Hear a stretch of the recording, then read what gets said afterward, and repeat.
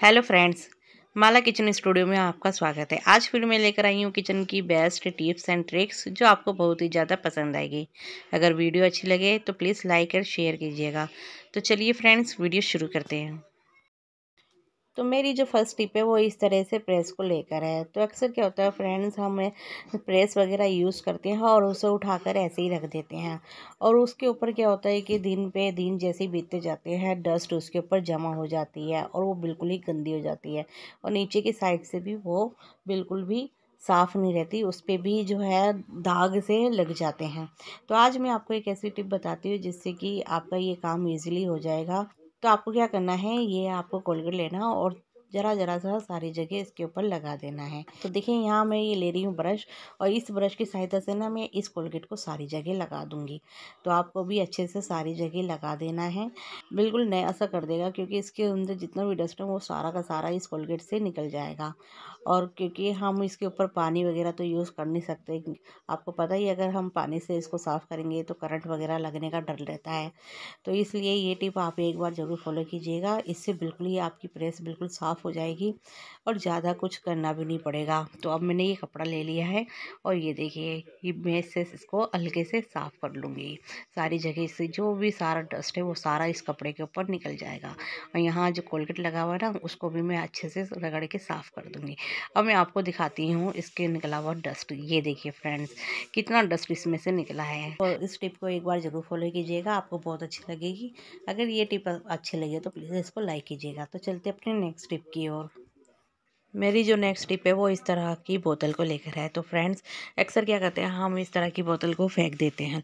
लेकिन आज मैं आपको इसका एक बहुत बढ़िया यूज़ बताती हूँ, जो आपने इससे पहले नहीं देखा होगा। तो आपको क्या करना है, पहले इसका रेपर हटा लेंगे हम। यहाँ मैंने नाइफ़ से इसका रेपर हटा दिया है। ये सारा चाकू से आप हटा लीजिए, ये आसानी से ही हट जाता है। तो ये देखिए, मैंने इसका रेपर हटा दिया है। अब फ्रेंड मैंने लिया है एक स्केच पेन और इस स्केच पेन से इसके बीच में, बोतल के बीच में एक लाइन खींच लेंगे एक साइड जैसे मैंने खींची है, ऊपर से नीचे तक आपको भी एक लाइन खींच लेनी है। ऐसे ही ऐसे ही दूसरी साइड भी लाइन खींच लेंगे, एक लंबी सी ऊपर से लेके नीचे तक। तो हमें ज़्यादा नीचे तक नहीं खींचनी ये लाइन इस बात का आप ध्यान रखना अब फ्रेंड्स लाइन की दोनों तरफ़ ना मैं डॉट्स बना लूँगी इससे। तो ये देखिए मैंने इस साइड भी डॉट्स बना ली है। स्केच पेन से, ऐसे ही लाइन की दूसरी साइड भी ना डॉट बना लेंगे। और जो पीछे की साइड लाइन खींची ना, वहाँ भी ऐसे ही हम डॉट्स बना लेंगे। पहले स्केच पेन से डॉट बना लीजिए आप। तो ये देखिए फ्रेंड्स, मैंने दोनों साइड डॉट्स बना लिए हैं। इसके बाद आपको क्या करना है, कोई भी नाइफ़ या कुछ भी पेचकस वगैरह गरम कर लीजिए। तो यहाँ मैंने ये पेचकस गरम कर लिया है और जहाँ ये डॉट लगाए हैं ना, इनके अंदर हमें होल करने हैं। तो ये देखिए फ्रेंड्स, ये मैंने पेचकस गर्म कर लिया है और इनसे मैं ये दोनों साइड ना जो डॉट बनाए हैं, इनमें मैं होल कर लूँगी अच्छे से। तो ये देखिए फ्रेंड्स, मैंने ये दोनों साइड होल कर लिए हैं। तो आप भी ऐसे ही होल्ड कर लीजिए और उसके बाद क्या करना है, मैं बताती हूँ। अब फ्रेंड जो ये बीच वाली साइड है ना, यहाँ भी हमें चार डोट लगाने हैं। पहले स्केच पेन से मैं यहाँ भी चार डोट लगा लूँगी इन दोनों के बीच में और ऐसे ही पीछे की साइड भी चार डोट लगा लीजिए और इन चार डोट के अंदर भी ना हम होल करेंगे। तो ये मैं होल करके आपको दिखा देती हूँ। जैसे पेचकस से मैंने वो वाले होल किए थे ना, ऐसे ही इनको भी होल कर लेंगे। तो पेचकस की मदद से जो मैं, हमने निशान बनाए थे ना, स्केच पेन से, अब ये दोनों साइड मैंने होल कर लिए हैं। तो ये देखिए, यहाँ भी होल कर लिया है और पीछे की साइड भी होल कर लिया है। तो अब क्या करेंगे फ्रेंड्स, अब लेंगे चाकू और जो ये हमने स्केच पेन से लाइन खींची है ना, इन दोनों साइड से हमें इसको कट करना है। तो फ्रेंड्स, मैंने चाकू को गर्म कर लिया है और उससे मैं इस बोतल को दोनों साइड से कट कर लूँगी। तो फ्रेंड्स, जब भी आप चाकू से, ऐसे गर्म चाकू से काम करें तो उस चीज़ का थोड़ा सा ध्यान रखना, कहीं आपके लग ना जाए। तो यहाँ भी मैं इस चाकू से आराम से इसको कट कर लूँगी। तो ऐसे ही पहले एक साइड से कट करना है, फिर दूसरी साइड से भी इसको कट कर लेना है। तो ये देखिए फ्रेंड्स, मैंने ये दोनों साइड से कट कर लिया है।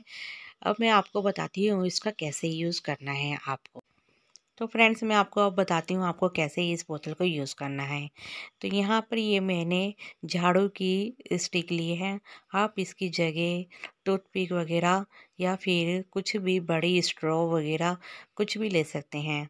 तो यहाँ मैंने चार चार होल किए थे तो उनके हिसाब से मैंने यहाँ पर आठ स्टिक लिए आप जितने होल करोगे ना, उनके हिसाब से कम ज़्यादा ले सकते हो।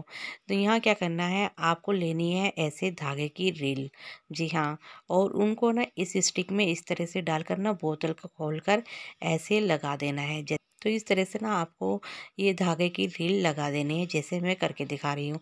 एक होल से निकालनी है स्टिक और दूसरी होल से निकालनी है। तो ऐसे ही मैंने चार होल बनाए तो चार मेरी जो धागे की रील है ना, वो इसके अंदर एक साइड आ जाएगी और चार दूसरी साइड आ जाएगी।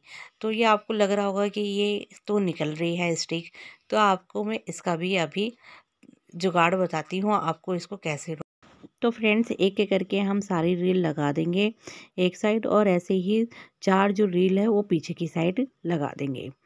तो फ्रेंड्स, अब मैं बताती हूँ, जो ये स्टिक है ना, इसको जो बार बार निकल रही है, कैसे रोकेंगे?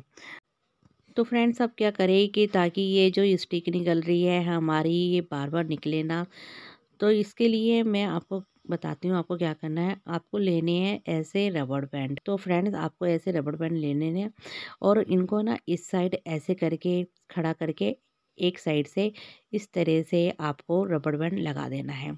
तो ऐसे ही जो ये चारों रेल है, मैं पहले इस साइड से चारों रील में रबड़ बैंड लगाऊँगी और इसी तरह ना दूसरी साइड भी हम रबड़ बैंड लगा देंगे। तो ये आपको मैं दिखाती हूँ फ्रेंड्स रबड़ बैंड लगा के। तो ये देखिए फ्रेंड्स ये मैंने दोनों साइड रबड़ बैंड लगा दी है। और जो हमारी अब ये एक्स्ट्रा जो स्टिक निकल रही है ना तो इसको क्या करना है, इनको हम कट कर देंगे।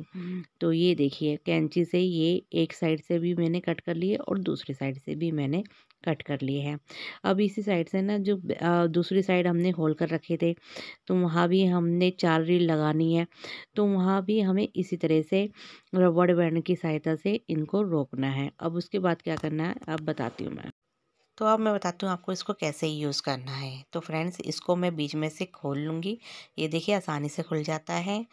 और जो धागा मुझे यूज़ करना है ना तो उस धागे को मैं बीच जो बीच में हमने होल किया ना, वहाँ से उसको निकाल लेंगे। जैसे कि मेरे को ये येलो रंग का धागा चाहिए। यूज़ करने के लिए। तो मैं इसको यहाँ से होल में से निकाल लूँगी।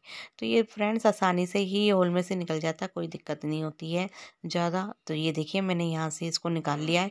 ऐसे ही जैसे ही आपको कोई भी धागा चाहिए, उन्हें इस होल में से बाहर निकाल लीजिए। और फिर क्या करना है फ्रेंड्स, ऊपर से इसको मैं बंद कर दूँगी।